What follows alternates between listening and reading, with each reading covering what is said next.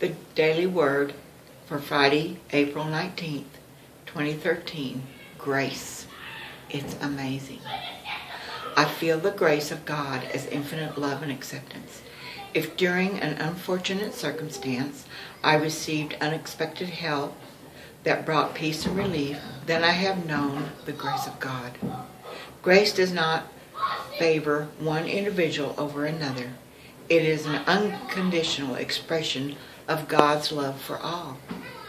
Grace does not depend on what I do or do not do. It is always available to me.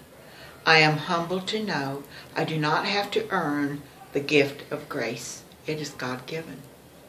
I feel the grace of God upon me as love and acceptance.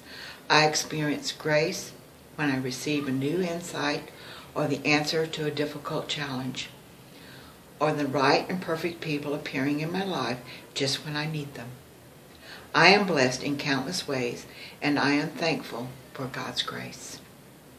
Scripture John 1:16 From his fullness we have all received grace upon grace.